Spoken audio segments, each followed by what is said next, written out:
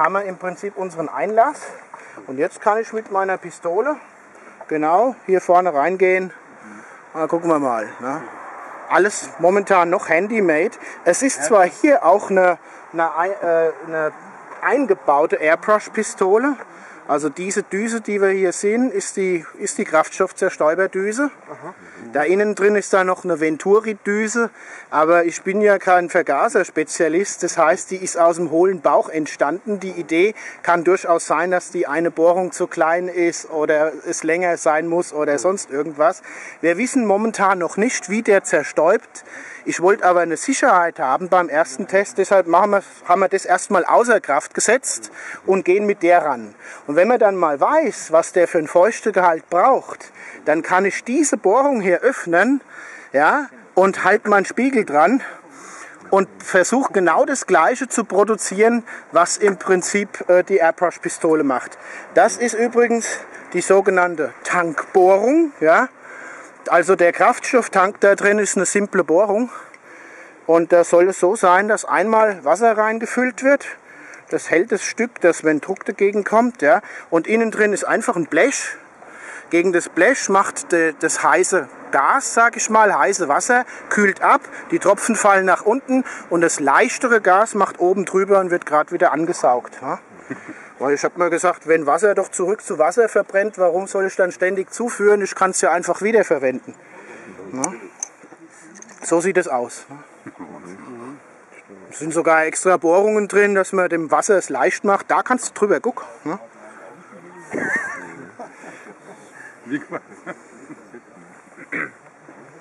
Ja, das ist die Tankbohrung. Ne? Und da wird einmal Wasser reingefüllt. Und wenn der nichts wegtropft oder sonst was, wo soll es denn hin? Ne? Soll eigentlich im Kreislauf bleiben. Ähm, kann man den Motor eigentlich drehen? Oder würde, also wenn er läuft? Weil dann würde der Tank ja ähm, unter Umständen das Wasser nicht mehr so äh, verdunsten. Da gucken wir mal, wie die? Kunstflieger das machen. Weiß ich aber noch nicht. Ja? Ja? Die Kunstflieger, die im Prinzip dann auf dem Rückenflug, wenn wir dann mit dem Rucksackhubschrauber fliegen wollen, dann müssen wir das wissen, weil ich will dann auch schon mal auf der, aus der Kneipe dann im Rückenflug, dass man vielleicht wieder wach wird. Da ja die Straßenverkehrsordnung nicht mehr. Die interessiert doch gar nicht hier. Ne? In die Baumwipfel geflogen und mal kurz in den Baum reingesenkt, bis die Bullerei vorbei ist. Ne? Ja, du musst aufpassen wegen der Hochspannungsleitung, ne? Naja, die mit ihren Wärmebildkameras, die kriegen dich dann. Ne? Kann man aber vielleicht so einen Kälteanzug anziehen. Ne? Eiswürfel lutschen. Ja.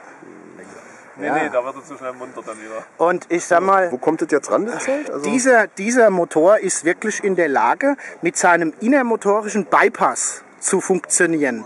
Deshalb kann er unter Wasser laufen.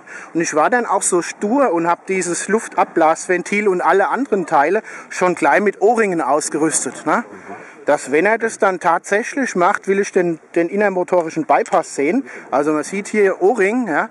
Und dann ist er natürlich auch ideal für irgendwelche Krisengebiete, wenn es irgendwo brennt und giftige Gase, ja. Wilek-Motor reingeschickt, ne, auf einem kleinen Roboter. Und na gut, da geht die Elektronik vielleicht dann hinterher nicht mehr.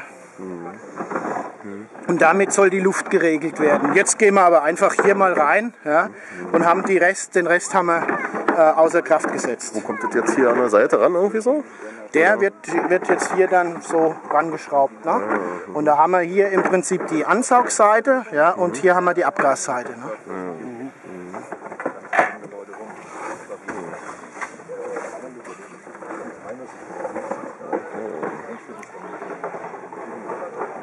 Du den jetzt ran oder machen wir jetzt noch was anderes? Achso, als erstes wollt ihr die Frequenz Wir wollen erstmal ja, gucken, dass mhm. wir den zum Laufen kriegen. Ja. Helmut ist irgendwie noch am Arbeiten. Ich habe das Ding vergessen hier.